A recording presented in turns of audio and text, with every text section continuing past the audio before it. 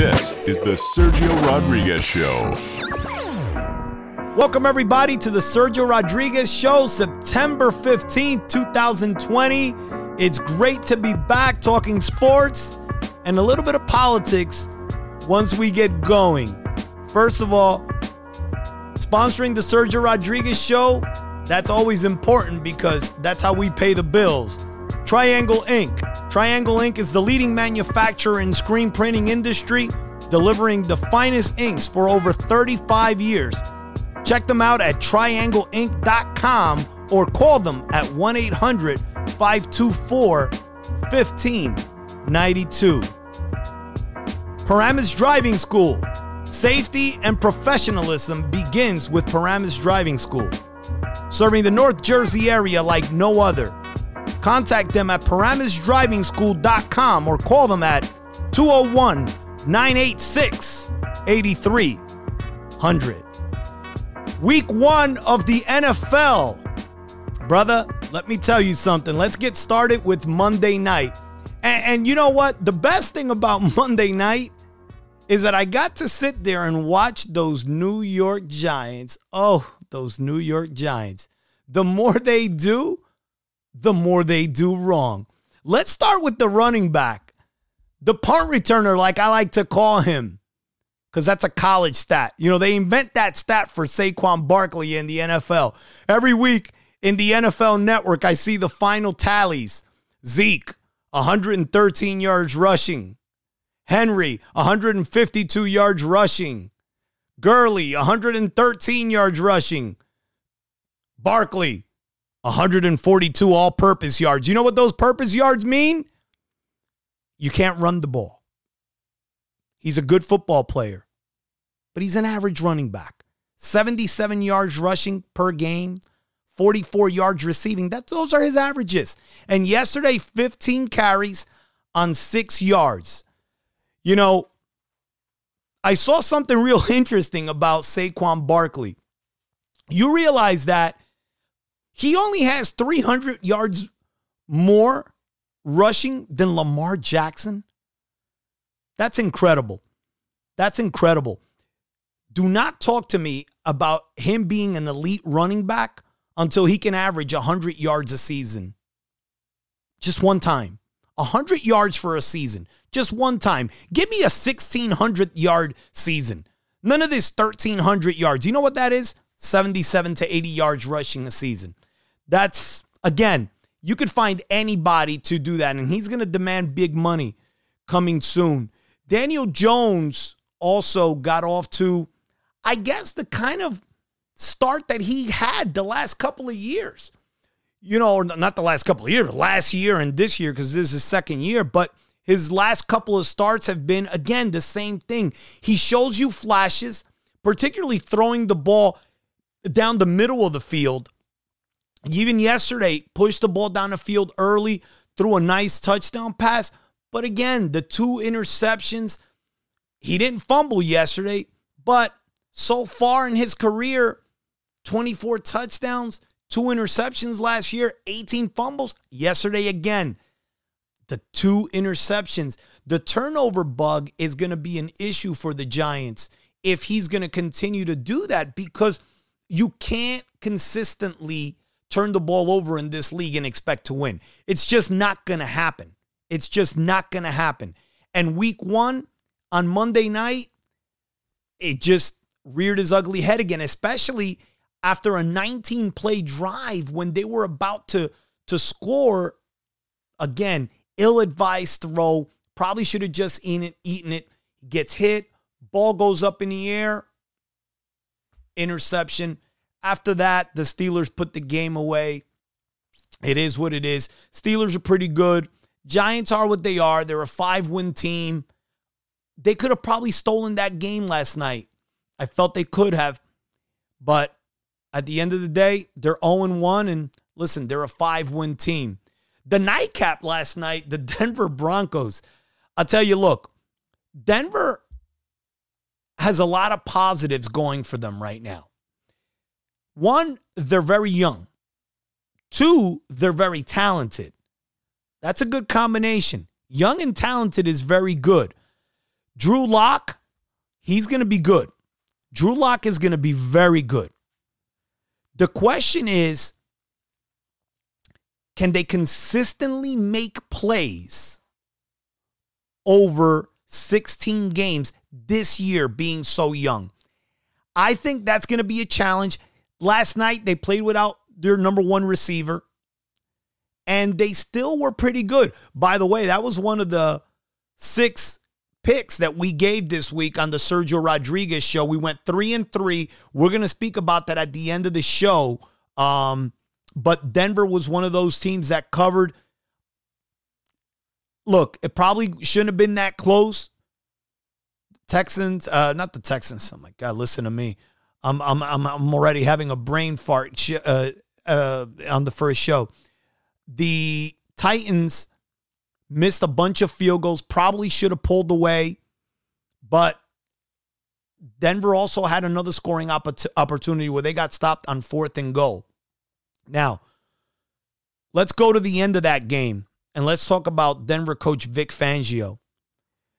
Not calling that timeout, not calling that timeout when Henry got that first down with about a minute 27 left and not using that cost them about a good 25, 30 seconds of time that, to be fair, because of who the kicker they have is and where they're playing became a huge issue. Understand that you're playing in Mile High Stadium where the ball is going to carry off the foot a lot more. I mean, 60 yard field goals are not easy anywhere, but if it's easier somewhere, it's there in the altitude. Fangio not calling that timeout killed any chance that they had of even coming back to get the game-winning field goal. I mean, they get they ended up getting the ball back with 17 seconds. I mean, that was just terrible. Terrible on his part. And you know what his excuse was for that?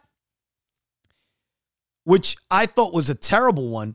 His excuse was that he didn't want them to get closer because the kicker had been struggling because Gostkowski had, Gostkowski had been struggling. Look, you have to figure that in that situation, the kicker's going to make the kick. Your job is to give your team an opportunity. And that opportunity was not given. That loss, I'm not going to say it was totally on him, but he contributed a lot in not giving his young quarterback an opportunity to have that moment, maybe getting the ball back with 38, 40 seconds instead of having just 17 seconds. Let's go back to the Sunday night game. The Cowboys lose a tough one, 2017 to the LA Rams. And you know what? It's the same old Dak Prescott. Prescott has a top five offensive line, a top five wide receiving corps a top three, if not the best running back in the game, and you score three points the entire second half? Three points. Three points the entire second half. Not to mention, you only scored 17 for the game. We spoke about this last week in one of our clips. The Texans gave Deshaun Watson $39 million a year. $39 million a year. Prescott's lined up to make the same amount of money. If the Cowboys give Prescott that type of money, they can just get ready for 10 more years of futility. Because again, I've been saying this for a while now. While Dak is a good football player, while Dak is very durable, he is not an elite level quarterback. And you can't in this league, when you have a salary cap and you need to pay for depth, you cannot give a quarterback who is not named Rodgers, Brady, or Mahomes damn near 30 or 40% of the salary cap. You just can't. You just can't. The Rams now, on the other hand, the Rams are going to get you early in games this year. The Rams do a lot of misdirection plays, the Rams do a lot of trickery.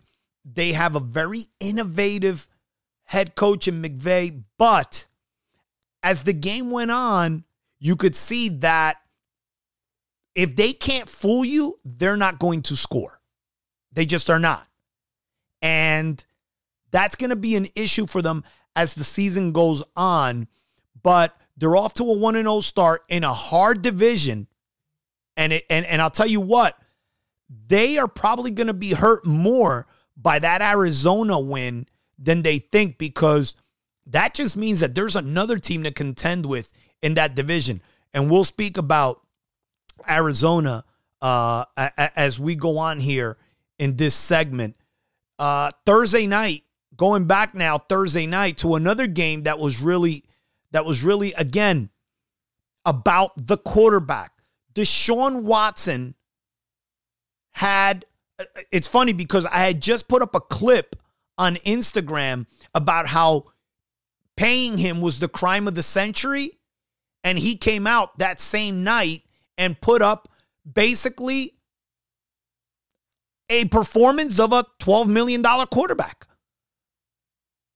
He put up some garbage stats at the end of the game when the when basically the game was out of reach.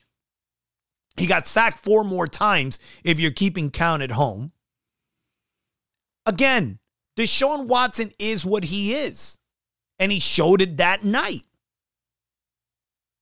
He was playing across the field from a legitimate $500 million quarterback. By the way, that quarterback, that $500 million quarterback, is 8 and 0 in his career in September. 26 touchdowns, zero interceptions. Zero interceptions. Kansas City this year, I will tell you, is going to finally has a a a a consistent running game in terms of I expect this young kid to stay healthy. Uh, Edwards Helaire. I expect him to stay healthy. There was always questions. Um, well, even last year after the whole Hunt situation, and then you know him getting uh, thrown off the team, and but but I think they're going to have a consistent running game this year, which is going to help them a lot and take a lot of pressure off uh, off Patrick Mahomes. To wrap up something about that game, I will tell you that one thing that I was impressed about was that David Johnson, and I'll tell you, uh, uh, my my former co-host on the Sideline View, Chris Chris Oliveira, uh, told me that he felt Chris John uh, David Johnson had more left in the tank, and and I'll tell you, I was skeptical. He looked good the other night.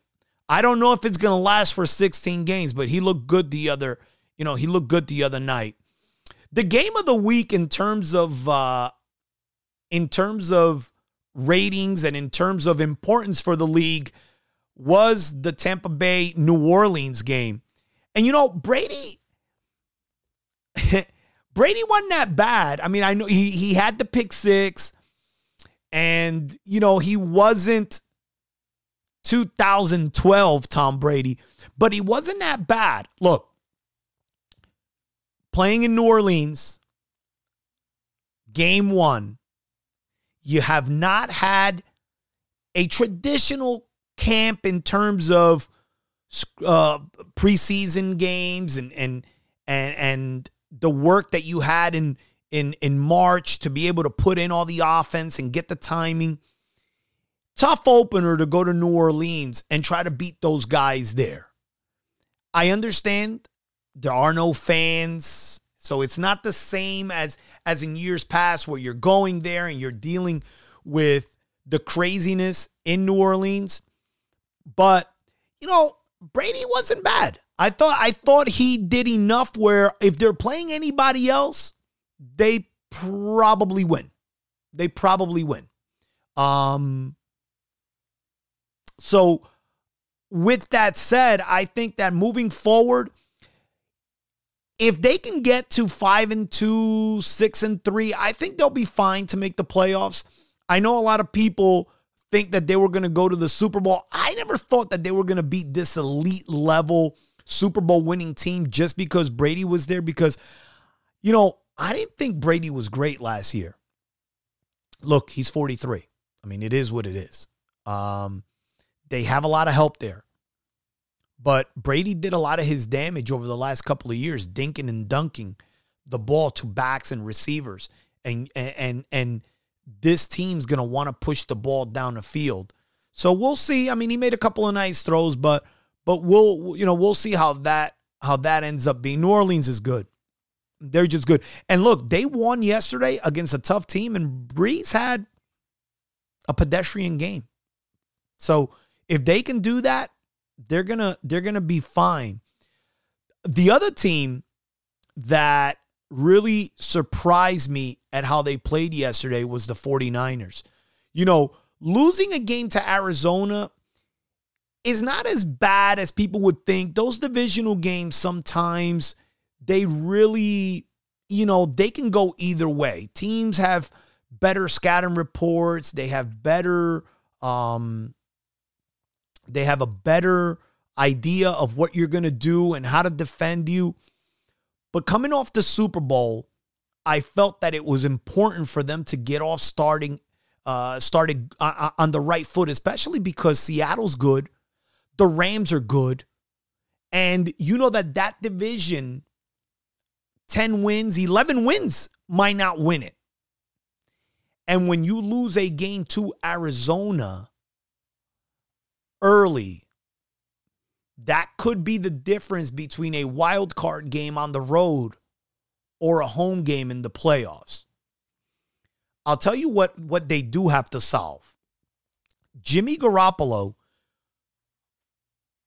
has to complete passes to his receivers. I mean, it seems to me that every time I'm watching the 49ers play, the receivers don't touch the ball. He is going to have to start using that receiving corps. Now, now look, Emmanuel Sanders is gone, so I don't even know how they're going to handle that. But if they can't get the ball down the field, I don't know if they are as good as they were last year defensively to carry essentially the offense the way that they did last year at times. So that's something to keep an eye on as uh, as we move forward. A shocker to most people this week was the Redskins beating the Eagles. You know, the Eagles, I'll tell you, have major issues. Major issues. One, offensive line is in shambles. I mean, they gave up eight sacks yesterday to the Redskins but they have continuity issues and they have I mean look, they lost one of the best guards in the game, a top 3 guard in the game. So you knew that that was going to be a problem, but they looked they looked just lost yesterday trying to block the 40 uh trying to block the Redskins in that game. They have issues at receiver. They're not making plays. But I'm going to tell you one thing. I've been a big supporter of Carson Wentz. Through the injuries, through the playoff misses because of injuries, the eye test has always told me that Carson Wentz is really good. But that game was on him yesterday. Up 17 nothing against a team that's probably only going to win 5 or 6 games Although after watching them, they probably they looked better coached. Ron Rivera had those guys ready to play. I know my guy Lake Lewis over at Sports Journey is going to tell me that the Redskins are going to win 9 or 10 games, but I I believe they're going to be a 5-6 win team. The Redskins basically took that game from Wentz and Wentz helped. Wentz was the reason. That loss yesterday has to be on Carson Wentz. He's got to be better. You cannot, cannot, when you are as good as he is, a top seven quarterback in the NFL, you cannot give that game up to a Redskins team that you had dead to rights up 17 nothing. Now, oh, speaking dead to rights, let's talk about my man Mitch Trubisky. You know, I'm not a big defender of Mitch Trubisky because I'm not one of these guys that that thinks that Mitch Trubisky is going to be a great quarterback in the future, but I do feel that he's taken a lot of heat, a lot of heat. And realistically, the guy's won a lot of games for the Bears since he got there. And yesterday, he was bad for three quarters, make no mistakes about it. But three touchdown passes, zero interception, huge, huge comeback. Huge comeback to get the Bears off to a 1 0 start. And you know what? That win yesterday could go a long way, or on Sunday, I'm sorry, could go a long way to basically propelling Mitch Trubisky and the Bears in that division because the Vikings showed us they're not that good. Green Bay showed us that Aaron Rodgers is on his redemption tour. And Detroit is what they are. The Bears could win that division. They really could. Now, let's talk about Matt Patricia. I'll tell you. Matt Patricia has nine, nine wins since he was named the head coach in Detroit. That's incredible. I, I think he's something like 9 and 23 or something like that. That's incredible on in itself. Because I think they fired the last coach for being 9 and 7 if I'm not I mean it, it, Matt Patricia, just like a lot of these former New England coaches, they get credit for what Belichick does. I mean, look at the guy in New York now, Judge. He's going to get, well, he got that job on the coattails of being Belichick's assistant. And now he's there. He's going to win five games this year. How good are they going to be the following year? I mean, it's the NFL. You never know. But the Giants over the last 10 years have proven that they are basically, I mean, other than the Browns, they've been the worst team in the NFL. And Matt Patricia is basically coaching his way out of Detroit and back to being assistant in in New England.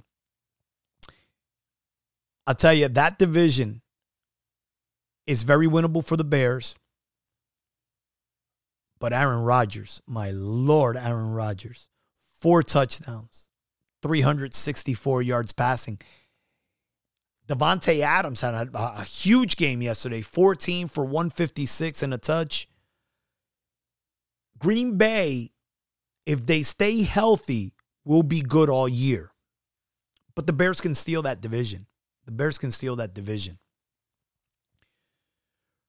Russell Wilson was finally allowed to play going over to Seattle in that game with Atlanta. Another one of the six picks. You know, and let me say something about that. I gave Atlanta in that game plus three on Wednesday when I put out the picks. When that line closed, Atlanta was a one point favorite. No way the Sergio Rodriguez show would have put their stamp of approval on that game. That took us from being possibly three and two to being three and three. But well, you know, we're not going to cry about it. We'll move forward with that. But Russell Wilson was just spectacular yesterday you know, he shows every week why he's the most underrated player in football over the last 20 years. Just gives you everything you need. He's a winner and he carries mediocre offensive talent every year across the finish line. Look, Atlanta, they are what we thought they were going to be a team that could score some points. I mean, Matt Ryan threw for like 450 and two touches. They were coming from behind, and I think they're going to be able to score. But they had three receivers They had three receivers that that caught over 100 yards and they had a lot of fancy stats, no substance. Atlanta is going to be in what I believe is the ultimate dogfight next week with the Cowboys because one of those two teams is going to be 0 2.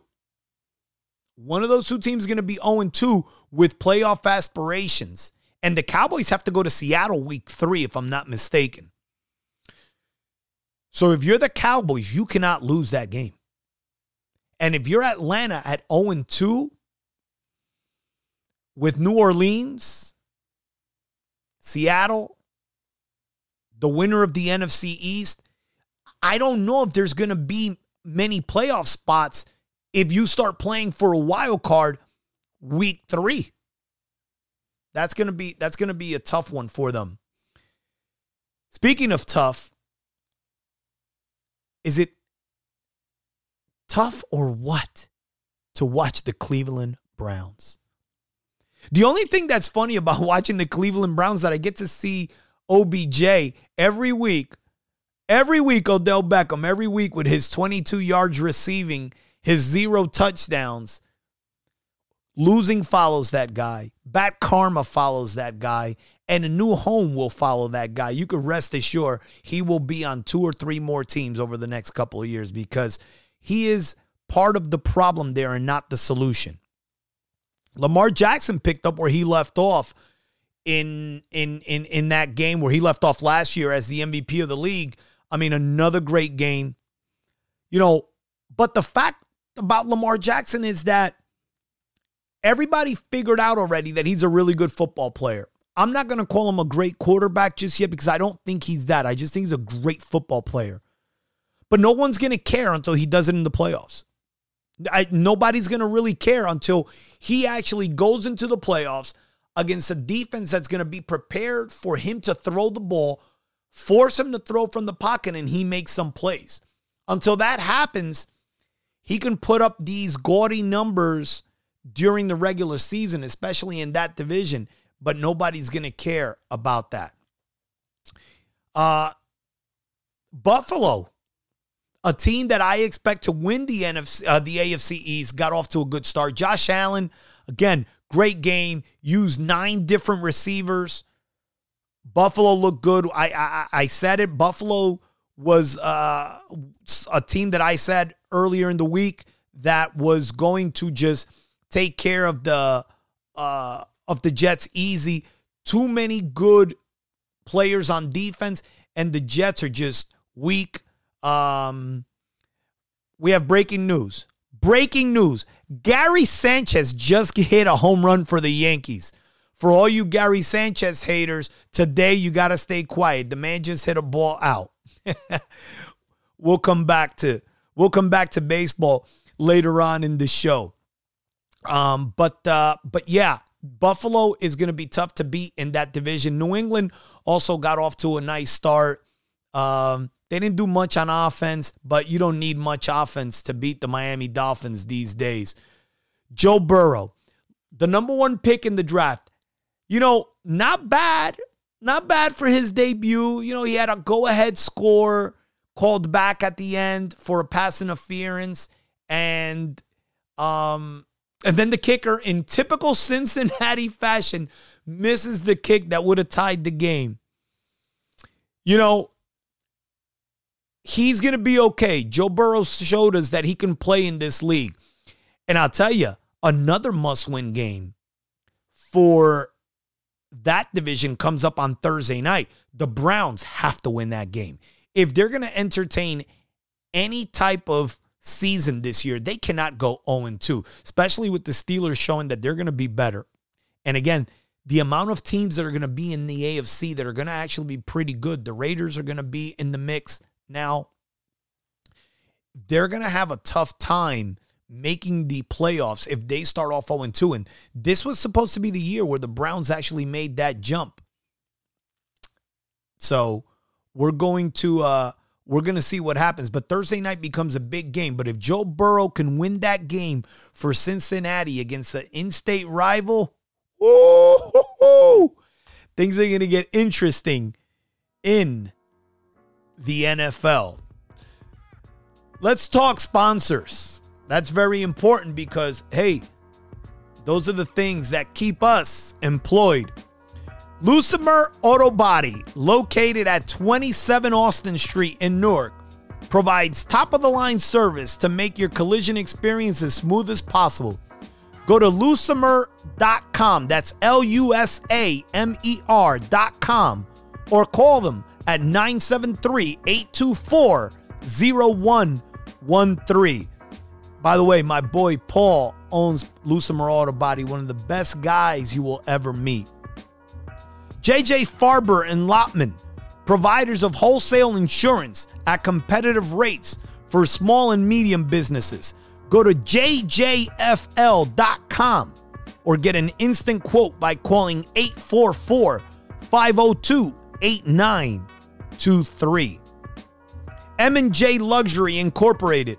For the most unique experience in the medical transportation business, call M&J, located in New York City with over 1,000 cars at your disposal. Call them at 718-278-2222 or at 914-484-7264. Great to get started here. Great to get started here with you guys. Um, talking NFL. And, you know, something very important happened in the world of basketball yesterday. Giannis Antetokounmpo met with the owners of the Milwaukee Bucks to discuss basically his future with the organization. The Bucks owners, and, and this is going to be a two part situation here. The Bucks owners promised him that they will do everything above and beyond the salary cap or the, the luxury tax, I should say, to get him the help that he needs to bring a championship to Milwaukee. Here's the problem with that. Here's the problem with that, and here's why eventually he's gonna have to uh he's gonna have to uh he's gonna have to leave. There's just no way, there's just no way around it. Who is going to go there? Who's going to go there? You know, the problem that LeBron James had in Cleveland is going to be the same problem that he's going to have, that Giannis is going to have in Milwaukee. Who's going to go there to play with you? When LeBron came back to Cleveland, remember that Kyrie was there. They had just drafted Wiggins and they were able to trade him for Love. But no one is going to go there. First of all, I was looking at the free agent list over the next two years. There's not a difference making free agent that you're going to get there. Your best bet would probably be to try to trade for someone like Bradley Beal. But that's probably about it that you can probably trade for to get there without messing up all the other pieces that are there. I just don't see how the Milwaukee Bucks will be able to bring another player there. Now, here's why I said this is twofold. Because you have to bring not only another player that's good, but you have to bring another player that's going to do what Antetokounmpo cannot do over the last four minutes of games, which is put the ball in the bucket from the outside. In order to get one of those guys, you're going to have to make a trade. There's no one out there that's coming. And again, you're not going to be able to sign anybody, even if somebody were to be available.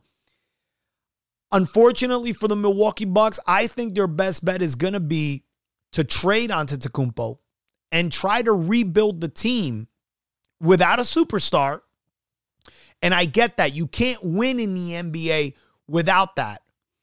But don't forget that this is a business. And at the end of the day, if I were the owners of the Bucks, I got to sit back and I got to say, okay, am I going to win a championship with Giannis and the way the team is put together right now? Especially with Brooklyn getting Durant back next year. Golden State comes back healthy. LeBron's probably have another has another year or two. The Clippers are going to be good again. Chances are you're not going to win a championship with Giannis. The way the team is set up now. You're not going to be able to get another player either. So, eventually you're going to lose him. I would rather trade him, get enough pieces that are going to keep me as a viable four or five seed every year for the next six years in the East, maybe catch lightning in a bottle a year or two, the way the Heat have this year, and maybe I make enough money for my business, which again, this is what it is. Unfortunately, that's the way they're going to have to think. I, I just don't see any way, unless they get totally just damn lucky in the draft. But how lucky can you get drafting towards the end of the draft? That's going to be an issue. That's going to be a major issue for for these guys in Milwaukee. And I feel bad for them because that's one of those that's one of those organizations that you root for because they've done it the right way and they they got their guy and they got you know they they got Middleton and but I I just cannot see it happening. I, I just I just can't. I just can't. I just can't and, and it's and it and it's bad, but I, I just can't see it happening. Fairfield Physical Therapy Center, located in the Fairfield Commons, Suite G106. Owned and operated by Justin Solotov, who has 20 years of experience in the field of orthopedic physical therapy. Call Justin at 973 276 1313 and stop living with pain and discomfort. Epic Car Service is recognized as the number one car service in New York City by medical transportation standards. Located in the Bronx, New York, Epic Car Service will make your commute a safe and comfortable experience. Call Epic at 718 401 3742 or call them at 844 666 6278. Stan Sports Center, one of the oldest and most recognized sporting goods stores in New Jersey, located on Washington Street in Hoboken and in Saddle Brook. Stan's has been recognized as a historical institution. Call Stan's at 201 773 6891 or go on their website at stansportsctr.com. Tell my man Dan that Sergio at the Sergio Rodriguez show sent you. You know, Major League Baseball is going to be using four hubs for their for their playoffs. They announced that they're going to use um, Houston and Texas, LA and San Diego as their four hubs, essentially as uh you know, like a bubble type NBA bubble type hockey, the way the NHL did that, you know, to make sure that they don't have any interruptions during the during the playoffs or that they don't have any issues uh like they've had because baseball has really been um what's the word I'm looking for? They've they, they they've been very overly cautious in my opinion, the way that they've handled you know the the the small outbreaks that have turned that, that have come up during the during the season. I mean, I mean they're canceling series, you know, because you know the guy who was carrying the bags tested positive for for COVID. I mean, like, so I could see why they would definitely want to do this, even though they really, you know, chose not to do this from the beginning. Um, you know, and, and I'll tell you, I think this sucks. It sucks for guys like, uh, for teams like Toronto.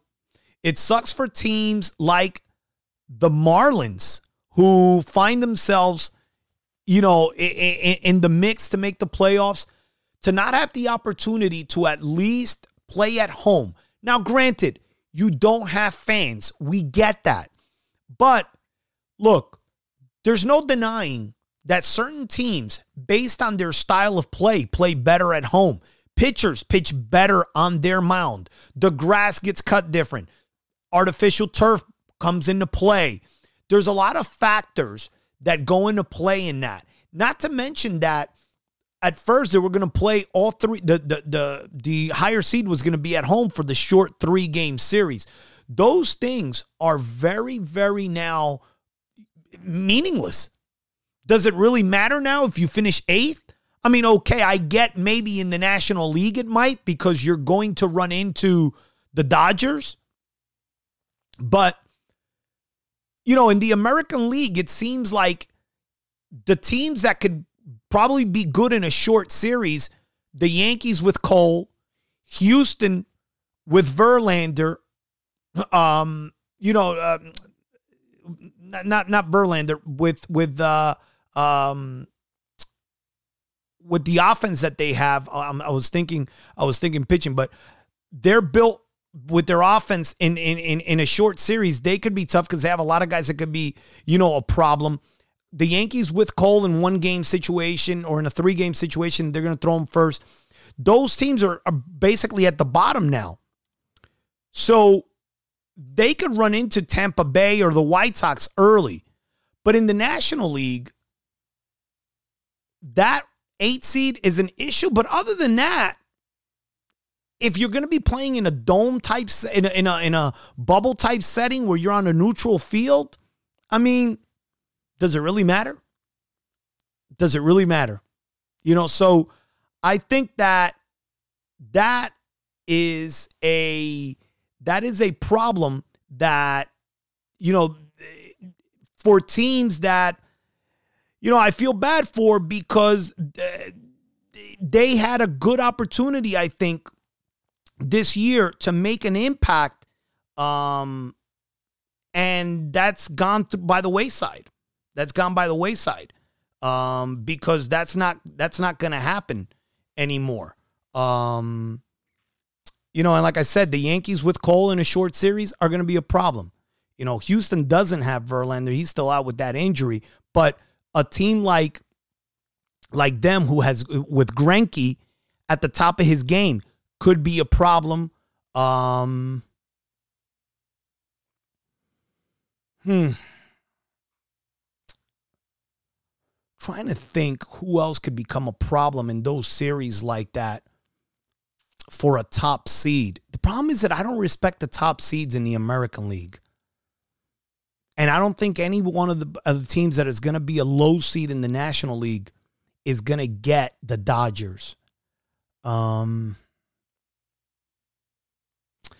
in any event, that's I, I, I just feel bad. I, I saw that and I, and I feel that that's gonna be that's gonna be a problem in a bad way, in a bad way for the game because I thought it could have been a great a great parody for for those uh for those teams like I said that are you know um not traditional playoff teams. You know, the last couple of minutes here, I want to take to speak about the NFL games coming up next week. And, you know, we're going to obviously put our picks up. I'm going to wait probably till Friday this week. I'm going to try to allow the lines to move a little, unless we obviously like something on the Thursday night show. But I'll give you a little preview basically of each game here. Cleveland is at home. They're a six point favorite versus Cincinnati. Look, make no mistake about it. Cleveland has to win this game. They have to win this game. Um, if they don't, listen, right now, Baker Mayfield is probably looking at having more commercials than wins this year. That's going to be a problem. The Rams are a one point favorite in Philadelphia. And, you know, Philadelphia's probably going to end up winning this game because teams are never as bad as they are when they lose and they're never as good as they are when they win. And the one thing that I that I said earlier in the show about the Rams is going to stand true in this game. If they can pull away early, they will be fine in any game. But if they're in a one score game after halftime, I don't know how many games they're going to win this year because they just they need to trick you to move the ball and that's an and that's an issue. The Buccaneers are a 9-point favorite at home versus Carolina. I expect Tampa Bay to roll. Carolina just Carolina has a tough tough tough tough tough time playing defense. And I, I just can't see them holding Tampa Bay to under 30. Denver travels to Pittsburgh after, a, and that's why it was so important for Denver to try to get that win early. And they had that game last night. They could have won it. And Pittsburgh's going to be a, well, they're a seven and a half point favorite now. Are they going to cover that number? I don't know. I got to look a little bit more careful into this. But that's a tough game for Denver to go on the road and have to play that game. Dallas is a four and a half point favorite at home against Atlanta. There's going to be a lot of points scored in this game. And that's a weird line. Four and a half is a weird number. I've always found number the number between four and six a little weird. Um, what amounts to a must-win game for both teams. The 49ers travel east to play the Jets, and they're a seven point favorite. I would tell you that the Jets offensively are a mess. The 49ers should come in here and get the job done. That is a one o'clock game, and you know how that works. Teams from the West, one o'clock games coming to the East tend to struggle. Buffalo goes on the road as a five and a half point favorite to play Miami. And you know what? I don't know if Buffalo's good enough just yet to lay that many points in a divisional game.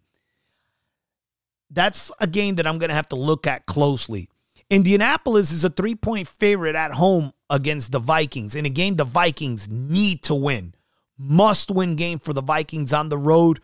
Indianapolis in a must win game. Surprising Indianapolis is a favorite after losing to Jacksonville. That's a very interesting line. This is another line to keep an eye on if you're uh if you're a bettor. Green Bay is gonna is a six point favorite against Detroit at home. This game could get ugly. It is a divisional game, and I get that, but there's gonna be a lot of points scored in this game. And I'll tell you what, if there's a lot of points scored, you can rest assured that Green Bay is gonna get their share. The Bears are a five and a half point favorite at home against the Giants. I'll tell you, if Mitch has one of those bad games, you could get six, seven turnovers in this game, especially with, with that Bears defense. Tennessee is a nine point favorite at home against Jacksonville. That one could get a little ugly too. Jacksonville played better than we thought they were going to play. Everybody thought they were tanking this year based on some of the moves that they were making. But I'll tell you, they played hard and they got that dub. I, you know what? That's probably why I like Tennessee because I thought that line just, and again, I'm looking at these lines for the first time right now. I would have expected that line to be closer to a touchdown based on the fact that Tennessee was not sharp yesterday and Jacksonville played better than we thought. But the fact that it's that high would probably lead me to believe that Tennessee is the play. Arizona's a six and a half point favorite at home against Washington. Another tricky line. Let's see if Washington can muster up something on the road two weeks in a row. Baltimore is a seven point favorite at Houston. Now, here we go, Deshaun. Here's your opportunity. Another opportunity against a quality team at home, good weather, on the turf, indoors. Let's go. Get it done. Earn that $39 million. Kansas City goes on the road to play the Chargers as an eight and a half point favorite. It's a weird line. It's a weird line. And that line opened up as a five and a half point spread, and it's up to eight and a half now. Interesting, interesting. And the, the, the, the funny thing is that the totals come down about four points. So it's it's a weird line. A lot of weird lines in this. I mean, I guess a lot of the lines also are being affected by the lack of the home field advantage. That's really that's going to be something really, you know, really interesting to to take a look at. Seattle's a four point favorite at home against the Patriots. The Patriots, who struggled to score, got enough done, still are going to be good defensively despite all the guys that aren't playing. Let's see if Seattle can take care of business at home. They're two weeks, they have two consecutive games now at home. They have New England, and then, like I said, I believe they have Dallas the following week. New Orleans goes to Las Vegas as a six point favorite. That's a weird line. Let's see if New Orleans can muster up that same energy two weeks in a row because they had, that's going to be the Monday night game. They had very intense, intense, uh, game. And, you know, it, it, it, was the marquee game of the week. If they can muster it up again and go on the road and, um, you know, stop a, a Raiders team, which looked good offensively. Jacobs with a monster game. So let's see what happens. Well, guys, that's going to wrap up the show for tonight. I appreciate you guys listening. Like always, tune in to the Sergio Rodriguez show Follow us on Instagram at The Sergio Rodriguez Show. Follow us on Twitter at The Sergio Rod Show. This is going to be something that we're going to do every week, and we're going to bring you guys some hard hitting facts without holding back any punches. We're working on starting with our guest next week, and we'll let you know. We'll post on the Instagram and on Twitter who it will be. Until next week, take care.